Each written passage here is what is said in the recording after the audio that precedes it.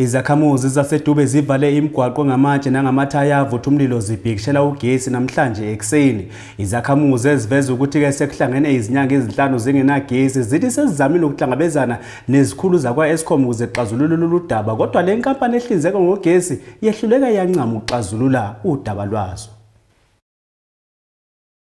Abahlali basedube nabathi sele kuzinyanga ezintandathu behleli ebumnyameni bangene ezitalatweni ngentseni yanamhlanje bavala indlela ngamatayali avuthayo namatye.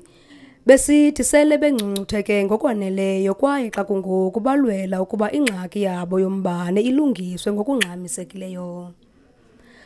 La malungu asekuhlaleni athi kudala iqhagamshelana nequmrhu lombane i-Eskom kodwa bathi akukho mpendulo okanye nyathelo lithathwa leli qumrhu.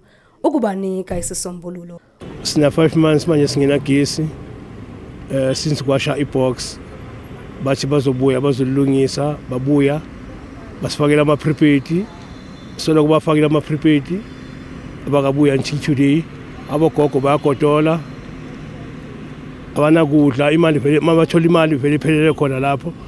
So into ezinjengalezo sicela nathi nje basisize ngoba kudala silindile. Usibusiso kunene othethe egameni labahlali uthe kukho iqela labanye abahlali abathathe inxaxheba yokuya kwiofisi zeEskom namhlanje. nje ikhebuli iziyatshontshwa again le abayifakile. So into esibe silindile thina besilinde ibox.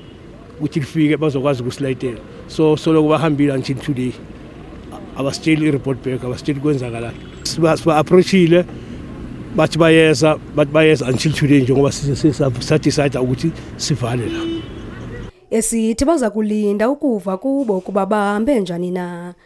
Esithi xa bengabuyi nento ebambekayo baza kuqhubeka noqhankqalazo lwabo. Kwiindaba zeSoweto TV ndingunomzabalazo Mduka edube.